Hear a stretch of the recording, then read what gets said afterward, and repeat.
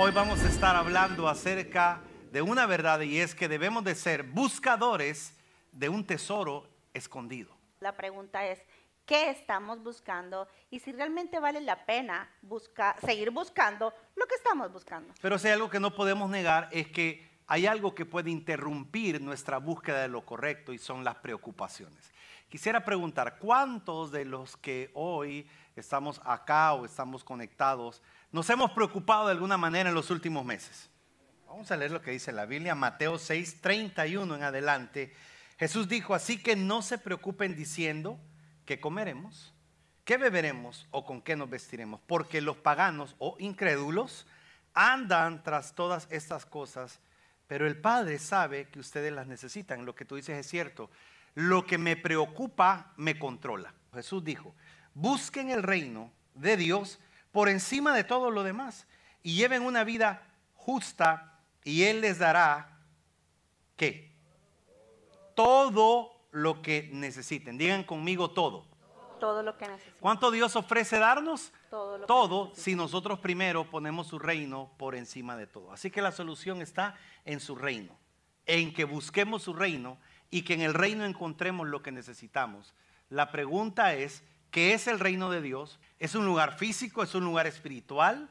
Y si es un lugar espiritual, ¿cómo yo lo encuentro? Entonces, hoy nos vamos a basar en una de las maneras que Jesús reveló que el reino se podía encontrar. Mateo capítulo, o perdón, Mateo capítulo, sí, 13, 44. pero versículo 44. Jesús dijo, el reino de los cielos es como un tesoro escondido en un campo.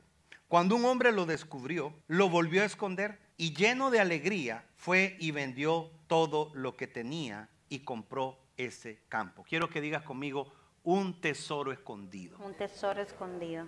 Jesús habló constantemente de los tesoros del reino y si yo te fuera a resumir lo que creo que es el tesoro del reino, es el diseño de Dios para tu vida. El vivir en tu propósito y tu asignación eterna. Si tú lo logras hacer, todo lo demás se va a alinear, incluyendo tu vida financiera, incluyendo tu vida emocional, se alinearían a la realidad de que tú has descubierto el tesoro del reino de los cielos. En tus manos está. Y Dios está esperando por ti. Y Dios quiere que acumules tesoros en el cielo. Pero el diseño de vida de Dios es la clave para tu familia, para tus finanzas, para la salud de tu cuerpo y tantas áreas que podríamos mencionar acá. Pero una vez más, abre el cofre del tesoro, abre su palabra, déjate guiar por el Espíritu Santo y encuentra tu tesoro, porque Dios lo tiene listo y preparado para ti. ¿Cuál es tu tesoro hoy? Hmm, Porque dice la Biblia que donde está tu tesoro, ahí está tu corazón. sí. Entonces, si el tesoro que tú tienes hoy es un tesoro falso, tu corazón va a estar puesto en las cosas falsas, temporarias o temporeras de la vida y te vas a perder lo importante y lo eterno. ¿Cuáles podrían ser algunos de los tesoros que la gente tiene hoy en día? Por ejemplo, lo material. Hay una mentira y lo estamos aprendiendo con los hombres en el Pastors Book Club.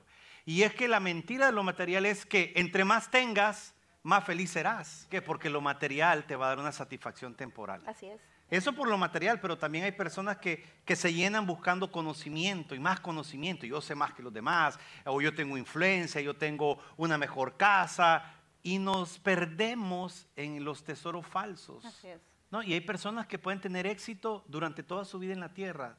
Tienen recursos, tienen influencia, tienen felicidad, pero al final de la vida no se van al cielo, no tienen eternidad. Entonces dice la Biblia, ¿valdrá, para, ¿valdrá la pena para algún hombre, ser humano, ganar el mundo entero y perder su alma? Busquen tesoros, dijo Jesús. Y hay un tesoro que no hay precio que nadie puede ponerle. ¿Por qué? Porque es tan valiosa la salvación que no hay forma de reunir ni todo el dinero del mundo y pagarle a Dios por tu vida eterna. Entonces, pastor, ¿cómo se recibe? No qué debes de hacer, sino cómo vas a creer. ¿En qué voy a creer? En Jesús. Él es el camino, dijo la verdad y la vida, y nadie llega al Padre si no era a través de Él. Recuerda, hay que ser buscadores insaciables de los tesoros del reino de Dios. Tesoros que son más que temporales o pasajeros, son tesoros eternos que tienen una aplicación en la tierra, de los cuales en la tierra recibirás bendición, pero más importante que eso, en el cielo Dios tiene recompensas para ti.